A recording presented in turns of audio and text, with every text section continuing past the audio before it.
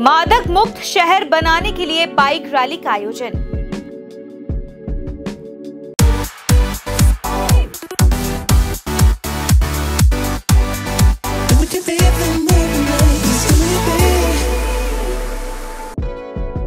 सिलीगुड़ी में से no to drugs अभियान के तहत बाइक रैली का आयोजन किया गया है। दरअसल, शहर को मादक मुक्त बनाने के लिए पुलिस लगातार से नो टू ड्रग्स अभियान चला रही है। और इसी अभियान के तहत आज सहायक फाउंडेशन और हिमालयन बुल राइडर ने भक्तिनगर थाना की पुलिस को साथ में लेकर शहर वासियों को जागरूक करने के लिए एक बाइक रैली निकाली। ये रैली भक्तिनगर थाना के सामने से शुरू हुई और विभिन्न रास्तों की परिक्रमा करते हुए तोरीबारी में जाकर समाप्त हुई।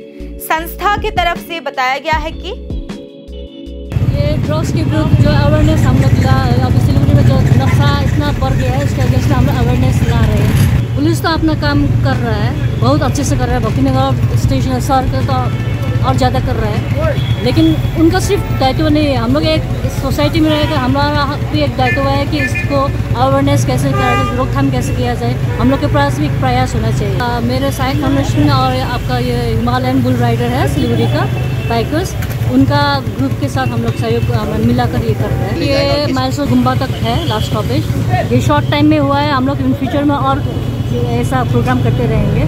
विशेष यही है मैसेज देना चाहते हैं कि एक स्वच्छ समाज चाहिए हम लोग को।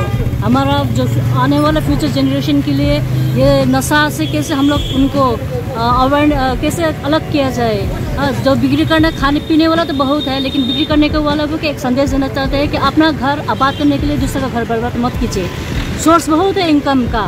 आप मेहनत कीजिए, लेकिन वो छोटा छोटा में मनी मेकिंग के लिए सब दूसरा का घर बर्बाद मत कीजिए। यही हम, उनका बहुत ज़्यादा हेल्प कर रहा है सर सर लोग ट्रैफ़िक लोग भी इतना हेल्प कर रहा है। जगह जगह पर सब जन इसमें सहयोग दे रहे हैं हम लोग को और फ्यूचर में और लोग हम लोग के साथ शामिल होकर या और बढ़िया से करेगा। बहुत बढ़िया है। जो भी वो बाइक राइडर्स लोग भी मैंने एंटी ड्रग्स कार्यक्रम में शामिल हुए उन लोग का धन्यवाद देना चाहता हूँ। पचास हज़ार लोगों को अपनी मंजिल से है जोड़ा।